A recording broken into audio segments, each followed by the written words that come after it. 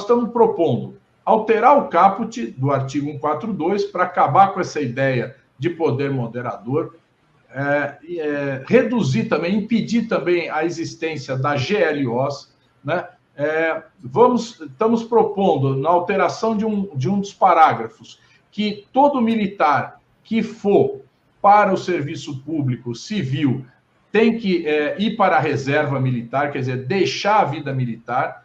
Estamos também estabelecendo que não haverá nenhuma participação das Forças Armadas na política, né? quer dizer, fica vedado. E, por fim, estamos permitindo que as Forças Armadas possam atuar em operações de defesa civil, que é outra coisa.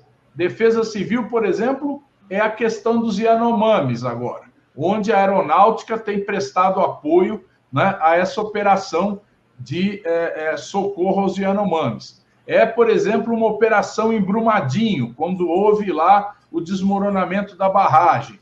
É uma atuação, por exemplo, na área do Agreste, quando ocorre uma seca.